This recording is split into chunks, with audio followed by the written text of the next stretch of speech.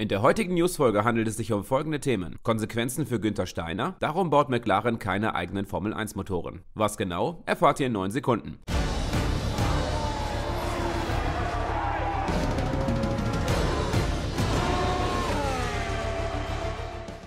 Hallo Formel 1 Fans und willkommen zu einem weiteren Video. Haas-Teamchef Günther Steiner hat nach der Magnussen-Strafe, worüber ich berichtet habe, schlechte Laune und hat wieder einmal einen FIA-Kommissar kritisiert. Zitat vom Südtiroler, hätten wir nicht einen völlig dummen, idiotischen Kommissar, wären wir Achter geworden. Ich muss noch ergänzen, dass der Däne einen Strafpunkt zu den 5 Sekunden noch dazu bekam. Gespräche mit Rennleiter Michael Macy gab es zwar nicht, aber mit Teammanager Peter Crawler. Das Interessante an der Situation ist, dass es genau der Kommissar war, der Sebastian Vettel beim Kanada Grand Prix bestrafte, nämlich Emmanuel Pirro. Es könnte für Steiner ein Nachspiel haben, denn die FIA will sich die Aussagen noch einmal ansehen. Laut Artikel 12.1.1f ist von einer Verwarnung über eine Geldstrafe bis hin zu einer Sperre alles möglich. Was glaubt ihr, welche Strafe droht dem Südtiroler? McLaren-Teamchef Andreas Seidel erklärte, dass es bei McLaren nie ein Thema war, einen Formel-1-Motor selber zu bauen. Grund ist die Investition von viel Geld in so eine Power-Unit, gleichzeitig sei ein anderer Grund die lange Zeit, um auf andere Motorenkonkurrenten aufzuholen. Ernsthaft darüber nachgedacht haben die Briten darüber nicht und sind auch froh, wieder mit Mercedes arbeiten zu dürfen. Kommen wir zu Mikes Meinung. Ich würde Steiner aufgrund von zwei Beleidigungen in einem Satz zwar keine Sperre geben, aber auch keine Verwarnung. Eine Geldstrafe halte ich für angemessen. Und was McLaren angeht,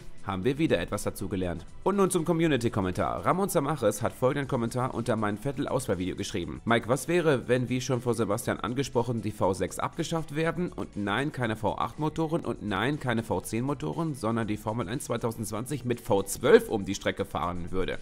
Also, einige können die V6 mit Zwangsbeatmer ja nicht leiden, gerade deshalb, weil sie ja so kompliziert sind und der Sound nicht gerade atemberaubend ist. Ich bin ja auch ein Fan von V12, V10 und V8 Motoren mit ihrem Engelsklang, aber die Zeiten sind vorbei, liebe Community.